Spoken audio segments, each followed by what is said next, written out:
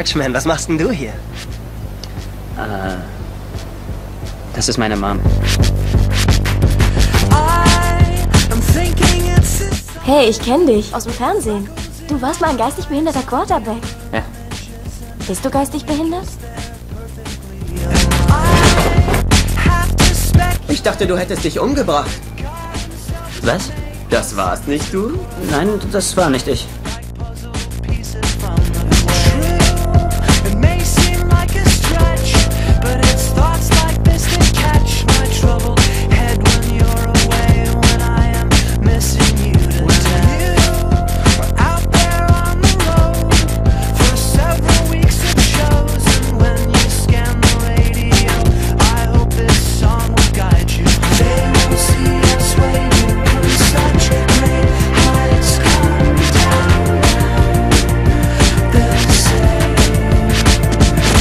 Das ist die Gelegenheit für dich mal was zu machen, was vor dir noch keiner gemacht hat und was niemand wiederholen wird, solange die Menschheit existiert. Und, und wenn durch nichts anderes, dann bist und bleibst du in Erinnerung als derjenige, der das hier getan hat. Diese eine Sache.